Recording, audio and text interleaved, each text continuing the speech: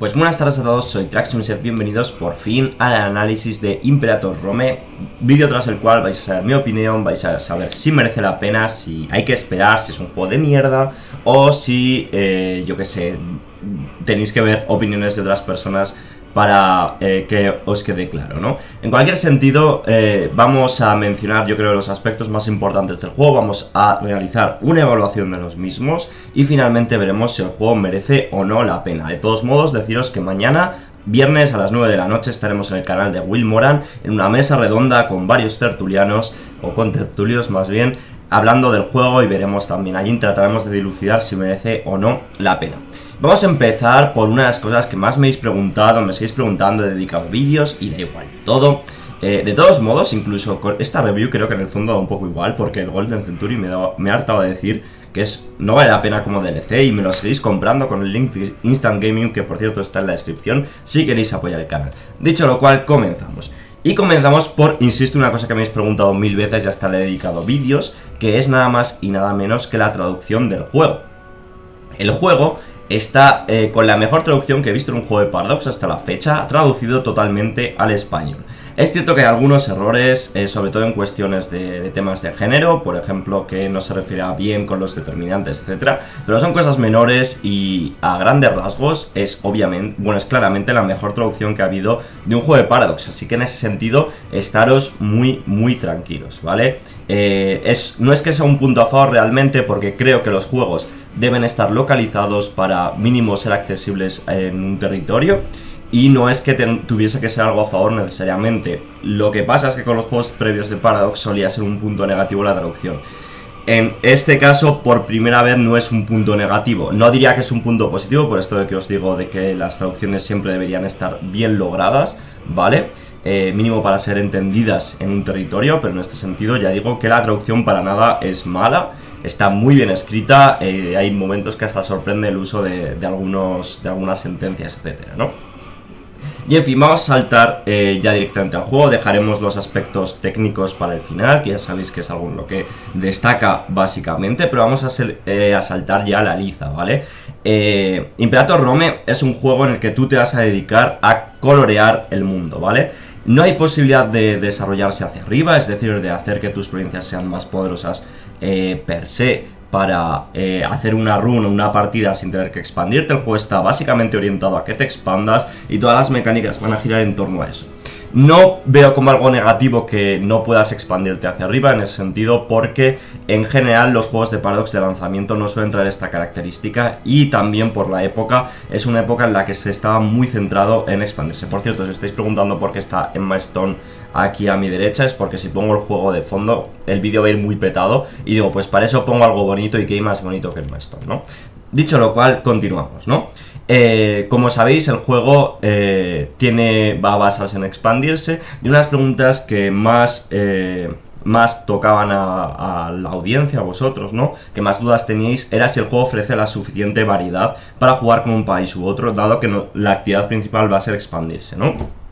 Y en ese sentido, deciros que la principal, las dos principales, los dos principales ejes sobre los que se construye la variedad de jugar con un país u otro, son en primer lugar los tipos de gobierno y en segundo lugar las religiones y por último, bueno, el sector militar hay cosillas también que hablaremos después, pero principalmente son los tipos de gobierno y las religiones. Tipos de gobierno hay tres, repúblicas, eh, monarquías y tribus, algunos tienen algunas pequeñas variaciones y en general se sienten bastante únicos, ¿vale? Para ser los tres grandes tipos que hay, podemos echar tres partidas bastante distintas eh, a lo largo del tiempo, quiero decir, con estas, gracias a estas mecánicas, ¿vale? De hecho, algunas se van a mejorar en futuros parches, pero lo que estamos valorando hoy es el estado de lanzamiento del juego, ¿vale?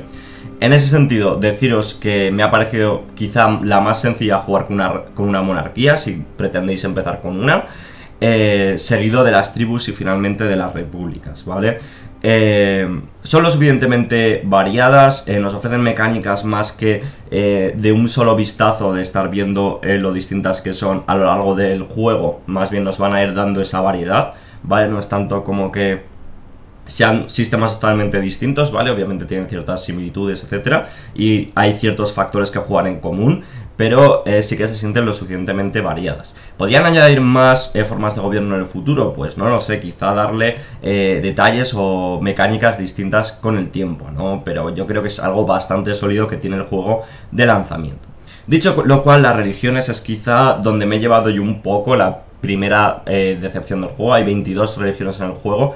Y yo esperaba que eh, fuesen eh, mecánicamente distintas, pero también me llevó un choque de realidad diciendo cómo narices se van a currar 22 religiones de forma que tengan sus propias mecánicas, etc. Entonces las religiones mecánicamente son todas similares, lo que cambia son los ajustes de sabor, es decir, que los dioses a los que le pedimos los augurios, por ejemplo, son distintos según la religión eh, con la que estemos jugando, ¿vale? Y también van a salir eventos distintos según la religión con la que estemos jugando, ¿vale?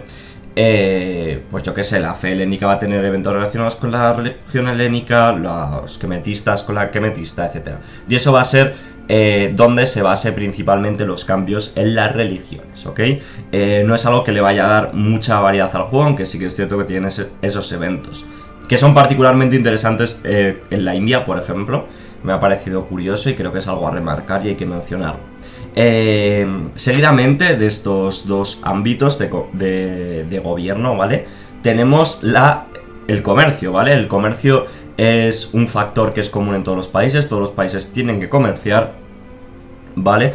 Y en ese mismo sentido creo que el comercio es algo que se ha realizado con bastante acierto en Imperator Rome. De hecho creo que es uno de los sistemas mejores logrados de Paradox, no, no está al nivel del que hay en Stellaris ni el de Victoria 2, porque obviamente son los más complejos, pero por así decirlo, tampoco está nada mal, ¿vale? Tú tienes, bueno, la mecánica no la voy a explicar, pero eso, simplemente deciros que es algo que me ha agradado bastante. Creo que con el eh, macro builder con el que funciona se ve de forma bastante clara cuáles son los beneficios que acabas trayendo una provincia, si hay un excedente, eh, etcétera. Lo cual no quita, ojo, que pudiera dar más detalles el macro builder, ¿ok? Eh, como digo, el comercio es algo que me ha parecido bastante interesante, ¿no? Al fin y al cabo, en una provincia hay un recurso y ese recurso bien te lo puedes quedar bien, lo puedes exportar y vas a tener beneficios de, ambas formas, ¿no? entonces la cosa es valorar cuál te conviene más. Ahora bien, a largo plazo tú tienes un montón de provincias, establecer una ruta comercial te cuesta eh, un coste de poder cívico de 25, 25 eh, puntos y eh, vas a tener un montón de provincias que requieran o que tienen rutas comerciales libres, ¿vale? Ponerte a hacerlas cada una de ellas te va a costar un montonazo de puntos y puede que eventualmente se deshagan, lo cual aumenta el factor de coste increíblemente grande, ¿vale? Eh, mi opinión es que se tendría que poder ajustar para que tus gobernadores de provincias pudiesen seleccionar que ellos directamente, así como seleccionan los edictos, ¿vale? Que ellos pudieran seleccionar los, eh, las rutas comerciales, así como crear tropas, ¿vale? Que defiendan su propia provincia, ¿vale? Pero esto lo hablaremos, entraré un poco a ello más adelante, ¿vale? Un poco el tema de la macrogestión y la microgestión. ¿Vale? El siguiente, el siguiente punto está el tema, el tema diplomático. El tema diplomático es básicamente eh, Europa Universalis 4 con ciertas adaptaciones para el juego por la época o por mecánicas. Ya vimos un vídeo eh, hablando del apoyar la independencia o vimos en el mismo vídeo la posibilidad de cambiar la capital. Bueno, pues básicamente eh, el resto de opciones están ya presentes en Europa Universalis 4 y tiene cosillas como la gestión con personajes que por cierto ahora hablamos de los personajes, eh, tiene cosillas como la interacción con personajes, que sería algo más quizá de Crusader Kings 2, pero bueno, que está presente también en este juego y que da lugar a una mezcla bastante interesante. En este sentido, la gran novedad de la diplomacia es el tema de las actitudes diplomáticas, que me parece un añadido bastante bueno y bastante interesante. Es básicamente seleccionar cómo quieres que tu país sea percibido en el extranjero y en función de si quieres dedicarte a comerciar, de si quieres dedicarte a bajar la agresión expansiva o si quieres dedicarte simplemente a conquistar, pues puedes seleccionar varias funciones. Obviamente esto cuesta unos puntos de poder de oratoria bastante caros, así que tampoco lo puedes hacer a placer, ¿vale? Eh, hablemos también de los personajes, es una de las cosas que más vida le dan al juego y que finalmente es lo que gestiona la vida interior de un país, ¿vale? Que quizá es el aspecto en el que yo os aviso, coge un poco el juego, la eh, gestión interior de un país, quizá eh, podría tener algo más de gracia. como digo, pues que los personajes tuviesen más influencia sobre lo que puede pasar. O bien que, yo que sé, los gobernadores tuviesen más poder o incluso los pudieras configurar tú mismo, pues como decía antes, para que puedan eh, básicamente tener más acción sobre la provincia que están gestionando. Básicamente, un gobernante sube al poder, tú lo eliges y él selecciona el edicto con el que quiere gobernar básicamente todo su mandato, que va a ser normalmente hasta que muera o bien hasta que lo sustituyas. Eh, pienso que eh, sería una forma muy inteligente de reducir la macrogestión del juego, que llega a un punto que, os aviso, es bastante infumable. Eh, sería una forma interesante de reducir la macrogestión que tú pudieses darle más poderes a los gobernantes. Es decir, como digo, que creen tropas, que seleccionen ellos mismos las rutas comerciales porque literalmente dejas tú de hacerlo porque, oye, quiero invertir estos puntos en la tecnología, quiero invertir estos puntos en cualquier otra cosa más interesante que ponerle una ruta comercial a una provincia que quizá no me va a dar tantos beneficios, ¿no?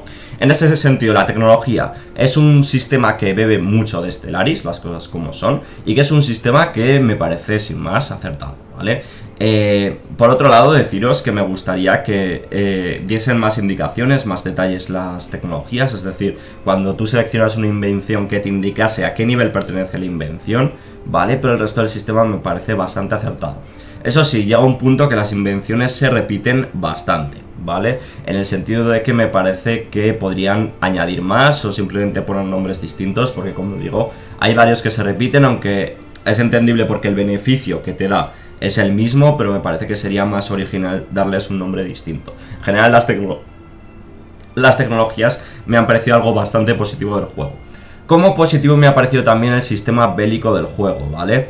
El sistema bélico se basa, se basa principalmente en tácticas que se ven impulsadas por tu general, se ven impulsadas por el tipo de tropas con las que estás llevando ese escuadrón, que son muy configurables, puedes seleccionar los flanqueos, puedes seleccionar la primera línea de combate, la segunda línea de combate, y en función de dónde combatas, la táctica que estés utilizando tú, la táctica que esté utilizando tu enemigo, y lo bueno es que sean los generales, se va a producir una batalla con mayor o menor éxito y dar lugar este sistema a batallas muy equilibradas, pero también a grandes palizas y a batallas muy muy épicas, ¿vale?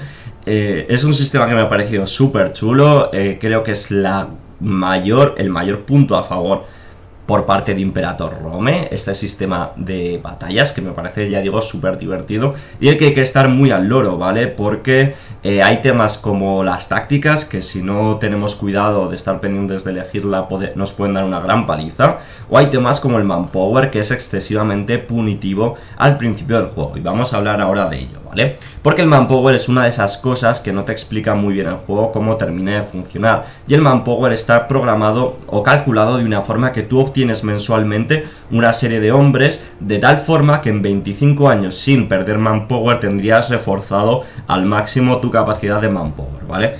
Esto eh, da lugar a que en early game tengas grandes problemas de manpower y en late game también por otras circunstancias, ¿vale? El manpower no tenga ningún peso y esto es algo que quizás es un poco grave.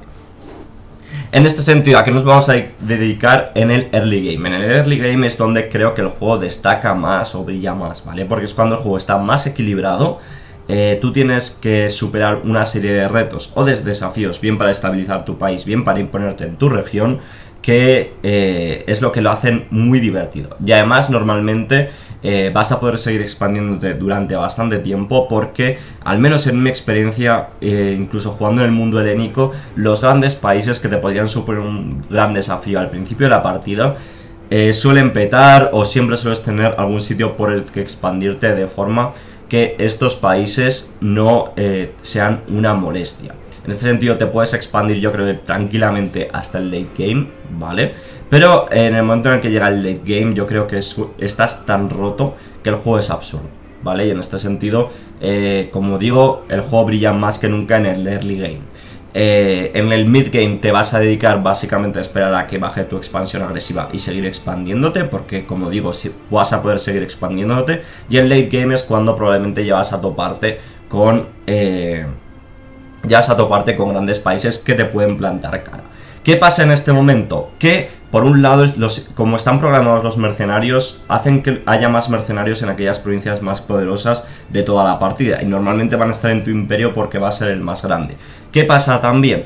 Que eh, a estas alturas tú has tenido tanta pasta y has mejorado tantísimo tu país a nivel económico, ahora hablaremos un momento también de los edificios, ¿vale? Has mejorado tantísimo tu país que básicamente ganas dinero expuertas y más que tener tropas, que puedes tenerlas también y gastar tropas de tu reserva, puedes contratar mercenarios cuando te dé la gana, todos los que quieras, bueno, básicamente el el límite de tropas que tienes se, eh, se limita en función de tu capacidad económica, no hay un límite de tropas ni de flota per se, ¿vale? Y esto se limita por tu capacidad económica, es decir, cuántas tropas puedas pagar, simplemente, incluso si pierdes dinero si estás dispuesto a ello. Pues básicamente, como digo, te puedes dedicar a simplemente contratar mercenarios, ni siquiera a crear tropas, y dedicarte a conquistar el mundo o estamparlos contra tu enemigo, o lo que sea necesario. Eh, en el combate naval eh, solo existe un tipo de barco, que esto tampoco me parece negativo per se, ¿vale? Que se dedica básicamente a las actividades de combate y a las actividades de transporte, es un todoterreno. ¿Vale? Eh, son los triremes, como ya sabéis, y básicamente pues es la flota que hay. Eh, quizá en el futuro metan más flota, pues posiblemente sería una forma por la que se puede expandir el juego, pero deciros que es perfectamente funcional y que yo no he hecho en falta que tenga que haber más barcos, ¿vale? Por último, a nivel de tema económico, mencionamos que hay cuatro edificios solos que se pueden ampliar de forma infinita, cada 10 poblaciones en una ciudad podemos construir un edificio más, y estos edificios pues otorgan, tienen una serie de bonuses en función de la población que tengamos en la provincia. Eh, como digo, eh, estos edificios, eh, hay la gente que eche la variedad, en, falta la variedad de edificios que había en European Universalis 4, pero me parece que son funcionales y que dentro de la época, pues yo creo que estas son entendibles, ¿no? Que una población con una gran cantidad de esclavos, pues hay un montón de graneros para alimentarlos, ¿no? Yo creo que puede tener sentido. Eh, finalmente, como decía, el early game destaca mucho el juego, yo creo que es la mejor época en la que jugar. El mid game mm, es básicamente ser una bola de nieve arrasando. Y el late game ya suele ser eh, chocarte contra otros enemigos, se acaban las tecnologías en algún momento. Y pues básicamente les puedes estar lanzando tus propias tropas o bien les puedes estar mandando eh, mercenarios continuamente hasta, hasta la saciedad, ¿no? Eh, en fin, cosas que debería solucionar el juego. Pues es cierto que hemos encontrado bugs, hablando con gente, con Todo, hablando con Will Moran, etc. Hay bugs presentes en el juego. No es que sean excesivamente abundantes, ¿vale? Pero hay, ¿vale? Se ha hecho muy famoso el de unos soldados atascados en unos lagos, que solo se podían mover entre los lagos, era una cosa bastante curiosa. A mí se me han bugueado barcos que literalmente no puedo hacer nada con ellos. Eh y bueno, no, que hay una serie de bugs que obviamente deberían ser corregidos eh, con la máxima inmediatez posible, ¿no? Que es lo que tendría que pasar en este juego. Pero más allá de los bugs, yo creo que el juego tiene una eh, necesidad imperiosa de que metan cambios de calidad de vida.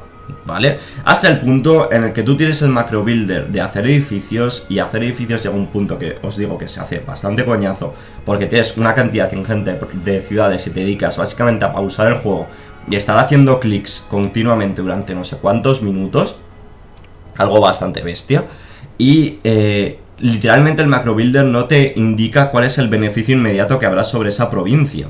¿Vale? Algo que me parece súper grave. También faltan pues las, típicas banderillas que caen de arriba, que te dan indicaciones, faltan un montón de esas, como de un montón de cosas, ¿vale? Y en general hace falta mejor explicación de todas las cosas en el juego. Y no es que estemos en plan, va, somos novatines, no tenemos ni idea, queremos aprender, pero es que literalmente hay descripciones que el juego se salta a la torera, básicamente hay cosas que no te explica. Lo del manpower es una de ellas, ¿vale? El cómo funcionan los asedios, el porcentaje que estás viendo de cómo progresa un asedio, no es el porcentaje real. Hay cosas que yo no termino de saber cómo funcionan, como el tema de darle a tu flota a que bloquee costas a que bloquee las costas enemigas y coge y se resguarda en, en un puerto tuyo cuando no hay flota enemiga por la que tenga que resguardarse. ¿vale? Y sé que hay puertos enemigos en los que no estoy bloqueando y aún así la flota no lo hace. No sé si es porque es un bug o que literalmente no entiendo cómo funciona, pero bueno, hay cosas que debería mejorar el juego en ese aspecto, ¿vale? En ese sentido, ¿qué es lo que necesita Imperator Rome ahora mismo? ¿Necesita un DLC? ¿Necesita un parche? Pues mi opinión es que es uno de los lanzamientos más sólidos de Paradox hasta la fecha y no está ni de lejos tan vacuo, no está tan esquelético como Gears of Iron 4 en su lanzamiento. Hearts of Iron 4 en su lanzamiento eh, necesitaba básicamente un rework de todas eh, sus mecánicas prácticamente. Y eh, lo dije en la review de Man the Guns, lleva cuatro expansiones of Iron 4 y creo que todavía sigue sin merecer la pena. Creo que si hacen una sobre el espionaje sí que merecerá la pena, pero bueno, eso lo, lo haremos en otro vídeo. Esto no pasa con Imperator Rome, lo cual no quiere decir que Imperator Rome no esté todavía un poco en ropa interior, ¿vale? Imperator Rome necesita correcciones, necesita que añaden algunas mecánicas, necesita que eh, le den más vidilla a la gestión interior de un país, porque creo que es básicamente lo que, lo que necesita para el mid game y el late game, que es que básicamente eh, yo es que literalmente os lo digo, me ponía a ver vídeos mientras pasaba el tiempo de las treguas, me ponía a ver vídeos con el móvil mientras pasaba tiempo de las treguas y volver a conquistar, es era en plan, ostras, que faltan 11 años, le daba al play, me ponía a ver un vídeo, hoy va un evento, le daba a pasar, ¿vale? Es aburrido, tío. ¿Vale? Y me duele decirlo, pero es que es aburrido. Pero ahora bien, ¿necesita DLCs Imperator Rome para ser un buen juego? Mi opinión es que no, mi opinión es que es un juego bastante sólido de salida, pero que necesita algunas correcciones y algunas mejoras, ¿vale? En ese sentido, ¿qué necesita Imperator Rome? Ahora mismo necesita, yo creo, unos dos parches. He oído hablando con Cuevita, él me dijo que eh, al juego le faltaba básicamente un año. Yo creo que un año es bastante exagerado, yo creo que dos parches gordos de, mejoras del juego. Eh, ya no digo de corrección de bugs, porque eso con hotfixes y por yo creo que se puede hacer. ¿Vale? Pero de mejoras del juego, sobre todo mejoras de calidad de vida y añadir mecánicas, eh, alguna mecánica interior más a los países. Obviamente esto lo vamos a seguir con. Lo vamos a seguir en el canal, ¿vale? Todas las novedades que salgan. Y de hecho ya os puedo decir que Paradox nos adelantó a los que íbamos a streamear el juego que el tema de los piratas y el tema eh, de los genera... A ver, la cuestión de que los generales y los almirantes no tengan apenas rasgos, pues eso se va a mejorar, ¿vale? Le van a meter más rasgos, etcétera. Se va a hacer un rework de los piratas para que tengan más gracia, que el jugador pueda interactuar con ellos, porque es verdad que el sistema de los piratas está un poco roto, pero se puede lidiar con él ahora mismo. Y, y, bueno, que me alegro un montón de que vayan a mejorar la vidilla naval en el próximo parche, que está previsto para junio, el parche 1.1. Pero no creo que sea lo que le falla a Imperator Rome, sinceramente. Lo que nos dijeron que, iban a mejorar en el primer parche gordo, no creo que sea lo que necesita Imperator Rome. De todos modos, nos dijeron que eso era. Eso estaba previsto para ser medio parche y la otra mitad del parche iban a ser sugerencias de los jugadores, ¿vale? Eh, sugerencias y demandas, en ese sentido. Entonces, yo no creo que sea obligatorio esperar a un DLC, creo que el juego puede merecer la pena, eso sí, dentro de un par de parches, ¿vale? Así que, ¿cuál es mi veredicto final sobre Imperator Rome? Imperator Rome me parece que es un juego que puede llegar a ser sobresaliente, ¿vale? Ahora mismo, Imperator Rome para mí es un juego de 7, ¿vale? Eh, Stellaris habría sido un 6, ¿vale? Y Hearts of Iron 4 directamente habría suspendido. Bueno, suspendió, ¿vale? Entonces, Imperator Rome para mí de lanzamiento es un 7. Es una nota muy buena, pero es cierto que no es un sobresaliente. ¿Vale? ¿Cómo podría subir Imperator Rome este, esta nota? Con un parche muy gordo o dos parches potentes, gratuitos en los que añadan contenido, mejoras y corrección de bugs, sería para mí un 8. Y quizá con un primer DLC que mejorase la vida e interior de un país, que creo que es donde más flojea el juego, sería un sobresaliente, sería un 9. Ahora bien, para aquellos que estén asustados con los DLCs, ¿vale? Obviamente estamos en la época en la que los juegos se venden como un servicio, ¿vale? Ahora mismo Imperator Rome podría ser considerado el juego base sobre el que nos van a monetizar durante unos cuantos años, ¿vale? Pero yo no me asustaría. No me asustaría en el sentido de que no me parece que me estén tirando a la cara un juego en el que está gritando que van a meter DLCs, ¿vale? No es como Hearts of Iron 4 que tenía 8 focos currados de lanzamiento, ya como muy obvio que, iba a haber DLCs de los... Perdón, que iba a haber DLCs eh, metiéndole focos a otros países, como efectivamente ha sido. Y yo creo que Imperator Rome plantea muy bien desde el principio que puedas jugar en cualquier parte del mundo y que vayas a tener una partida divertida. Ahora bien, mi duda principal es que no sé hasta qué punto eh, vas a poder repetir partidas en distintos lugares sin que se te empiece a hacer monótono. O que y también tengo la, sensación de que mucha gente va a dropear las partidas. O sea, no creo que la gente dropee partidas al principio, pero en cuanto lleve unas semanas jugando, empezarán a dropear partidas en el mid-game porque yo creo que es el momento en el que se empieza a volver repetitivo el juego y el late game ya os digo que es aburrido de narices, es literalmente esperar a que puedas conquistar, llegar a 50 expansión agresivo y repetir el proceso. Así hasta que de repente, hoy va, han pasado 277 años, se acabó la partida. Y es como, bueno, pues ahí está, ¿no? Ya he terminado la partida, me ha sabido un poco... Eh, un poco soso este final, las cosas como son, pero en fin, chicos, creo que tiene un gran potencial, por supuesto. Eh, como digo, creo que va a ser, un, o sea, mi, mi opinión es que os esperéis unos meses, ¿vale? Que no lo compréis ahora inmediatamente.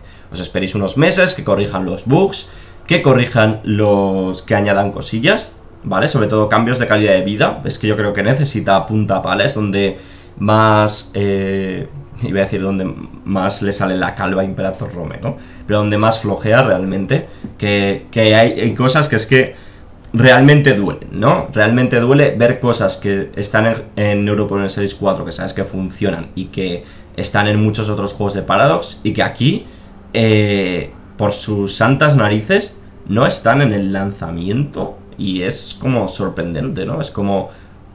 No sé, estás jugando con una monarquía, en una monarquía eh, yo asumo que es súper importante eh, para muchos jugadores que el nombre de su rey eh, se vaya repitiendo a lo largo de las generaciones para que vaya teniendo pues un 2, un 3, yo que sé, Pirro.